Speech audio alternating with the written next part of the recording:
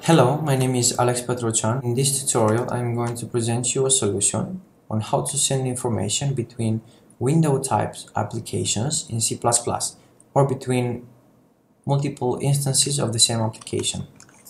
If you go into Visual Studio and create a new project, from the Visual C++ tab, select Windows Desktop, then Windows Desktop Application, hit OK.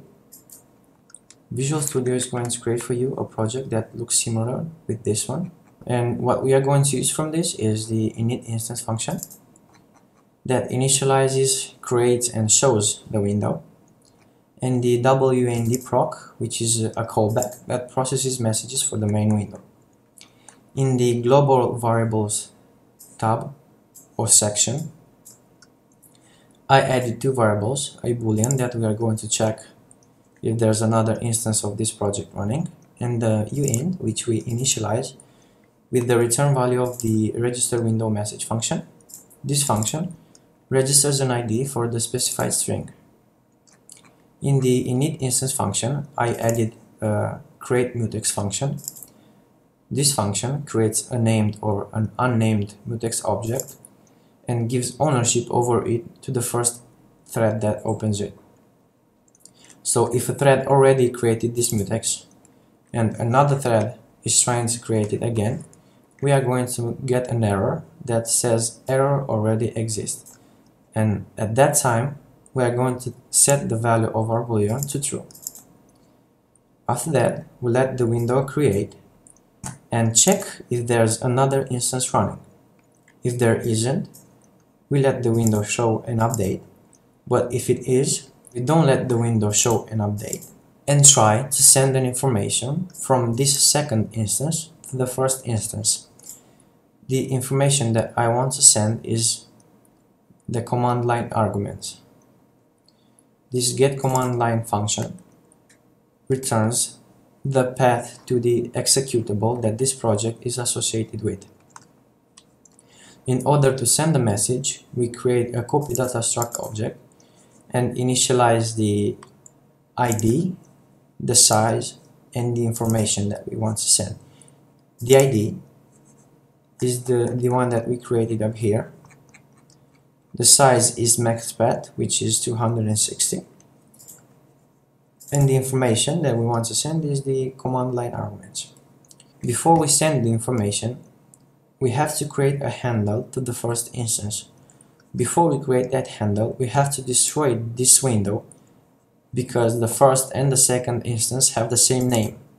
After we successfully create a handle to the first instance, we can send a message to it. Using that handle the wm copy data id and the third and the fourth parameter of the send message function can be used to send information. I'm going to use the fourth parameter which is lparam to send the information. Now as the second instance we send an information to the first instance. As the first instance we are going to have to listen in our callback to check for messages.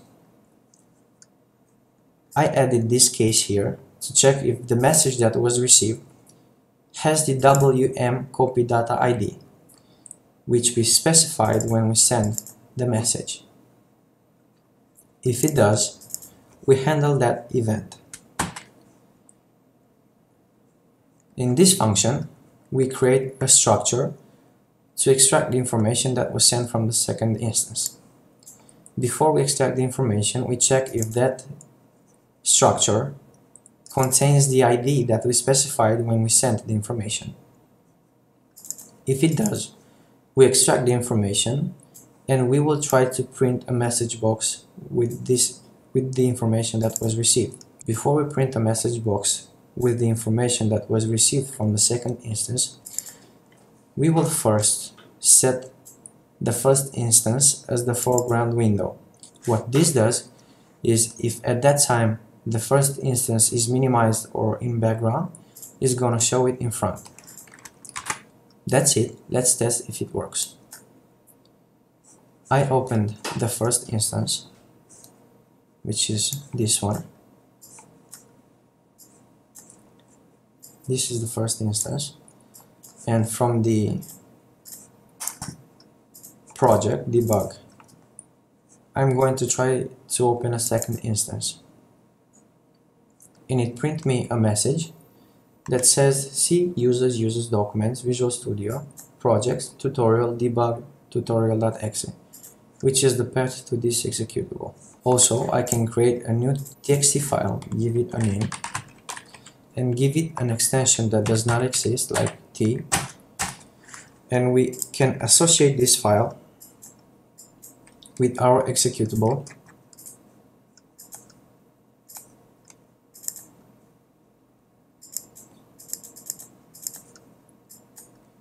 So at this point we associated this file with our executable. This will also try to open a second instance of the project and because this is an associated file it should the command line function should return us the path to the executable that this file is associated with and the path to the file itself. So it did that. Okay. That is basically it. I hope you found this useful and don't forget to like and subscribe the page. Thank you. Have a great day